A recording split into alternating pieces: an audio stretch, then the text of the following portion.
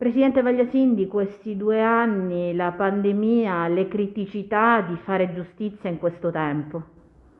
Nonostante le criticità e a fronte di un'emergenza sanitaria che ha sferzato la giurisdizione inesorabilmente, la Corte di Appello di Caltanissetta, che è rimasta contenitore dei processi cosiddetti di terzo livello di terrorismo mafioso dell'area palermitana, proprio in quest'anno ha eh, depositato le sentenze dei processi Capaci bis e Borsellino quater, ma soprattutto il, la sentenza Borsellino quater ha ricevuto il suggello definitivo della Corte di Cassazione che ha pienamente confermato e quindi in via definitiva la statuizione della Corte di Assise d'Appello.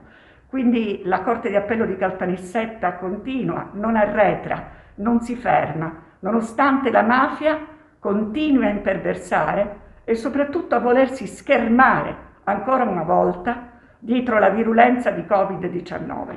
Il palazzo accanto ha ancora tanto lavoro da fare per l'ampliamento del palazzo di giustizia, una battaglia che lei ha combattuto in prima persona. Ed è una battaglia nella quale non mi arrendo perché continua la mia interazione forte con il Provveditorato per Repubbliche Sicilia Calabria e soprattutto con il Ministero della Giustizia, che sento di dover ringraziare per come è intervenuto a sostegno della città di Caltanissetta. L'ampliamento del Palazzo di Giustizia è fondamentale, soprattutto per la qualificazione del decoro urbanistico della città di Caltanissetta e il fallimento di quest'opera pubblica sarebbe un terribile riscontro a livello nazionale dell'insuccesso degli appalti che sono stritolati dalla burocratizzazione, da iter complessi e vischiosi.